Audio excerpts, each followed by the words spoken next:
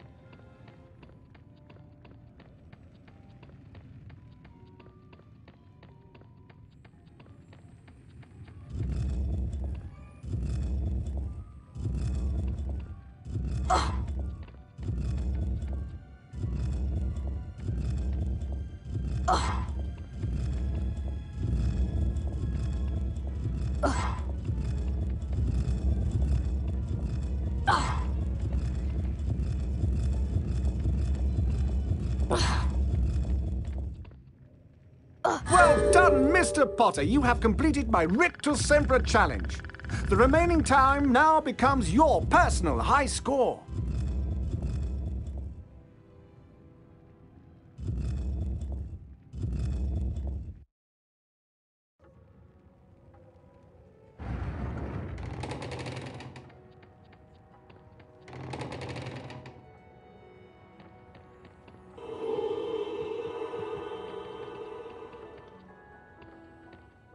Harry, the weekly house point ceremony is about to start. Follow me and I'll show you where it is.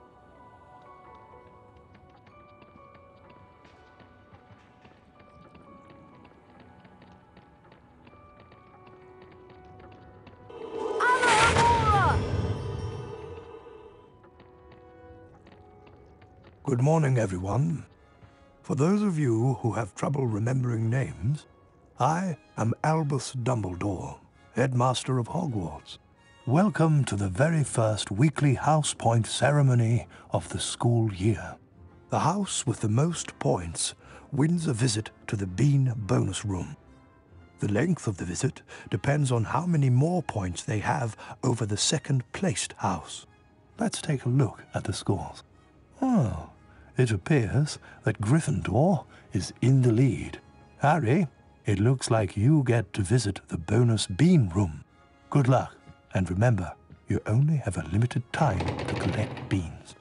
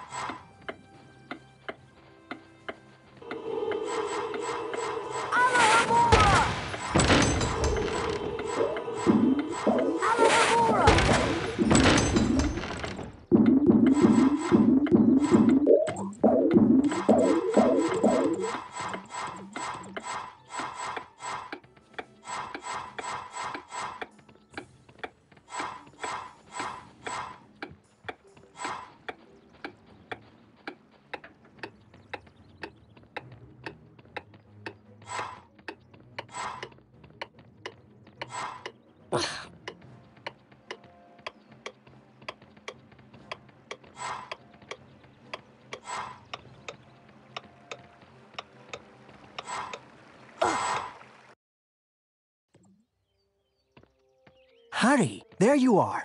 Glad I found you. Hello, Wood. Time for Quidditch practice, Harry.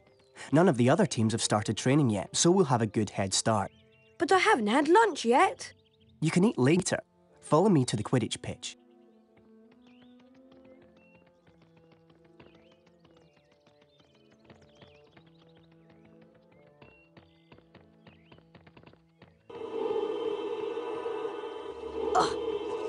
Ah.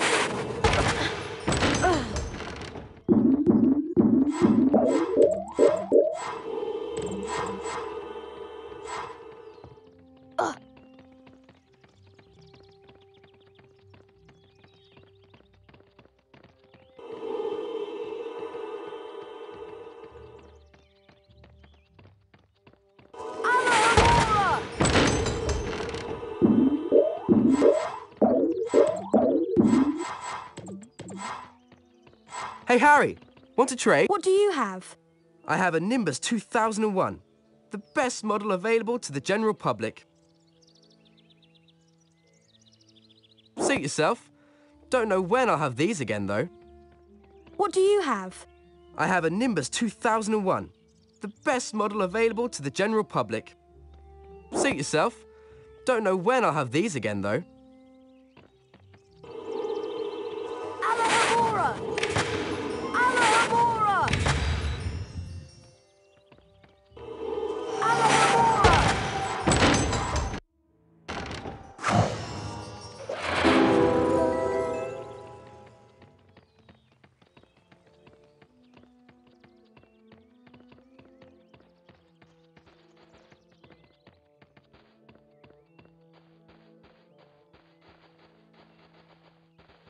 Good old Hagrid's hut.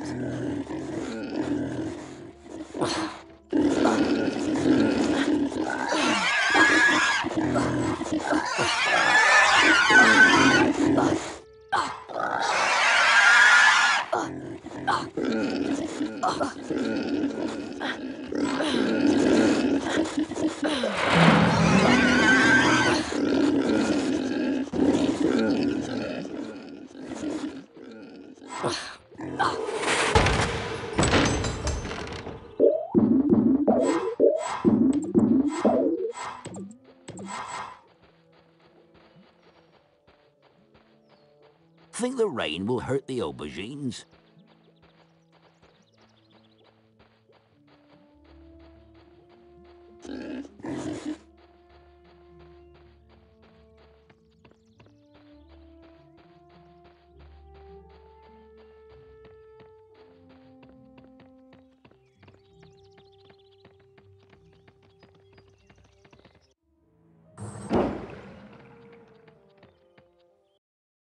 Listen up, Harry. We're going to make sure we win the Quidditch Cup this year, and the way we're going to do that is practice, practice, practice. First, a quick recap of what we learned last year. Of course, you already know that the red ball is called the quaffle, and it's the job of the three chasers to get it past the enemy keeper and into one of the goalposts. But you don't need to concern yourself with that. There are also two bludgers flying around, which you don't want to get hit by. But don't worry, each team has two beaters who try to keep them away from you. Last, and most importantly, it's your job as our seeker to catch the golden snitch before the enemy seeker does. Since you've been off all summer, let's start out easy. I'm going to throw up a snitch for you, and I want you to try to catch it. Sounds easy enough?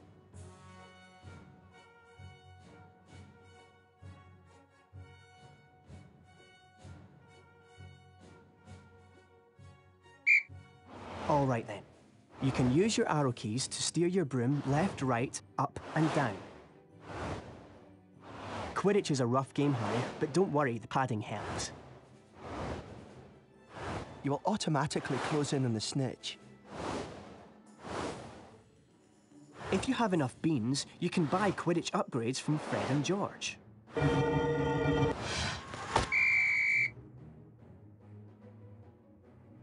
Now the rest of the Gryffindor team is here, let's play a mock game of Quidditch. Avoid the bludgers and the other seeker. I'm going to have a Gryffindor stand in as an enemy seeker.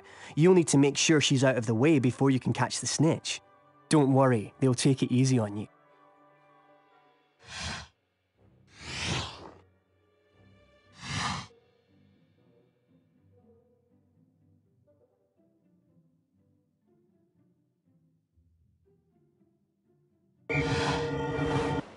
Being hit by a bludger, pushed by the other seeker, or running into things can slow you down and put you further behind the snitch. Oh! That's it, Harry. Give them a good nudge so you can catch the snitch. The Nimbus 2001 gives you much needed speed. Remember, Harry, you'll not put your hand out till the enemy seeker is out of the way. Block him!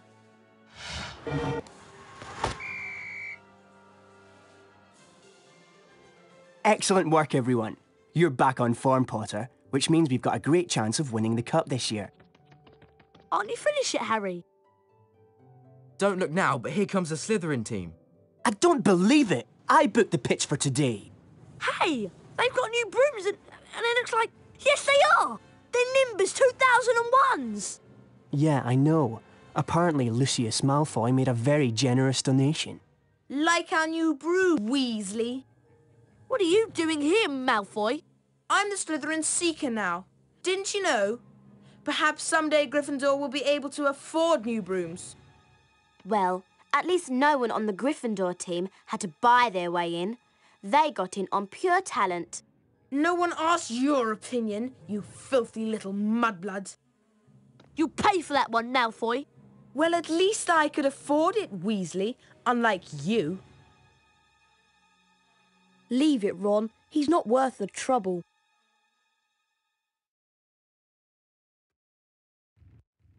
Mudblood, the nasty name some wizards use for other wizards who were born to non-magical parents. And speaking of mud, October arrived damply at Hogwarts, spreading a soggy chill over the grounds and into the castle. A different kind of chill would soon set in as well.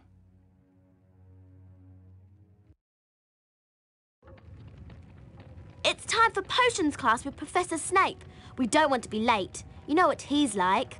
It's down in the dungeons. Follow me.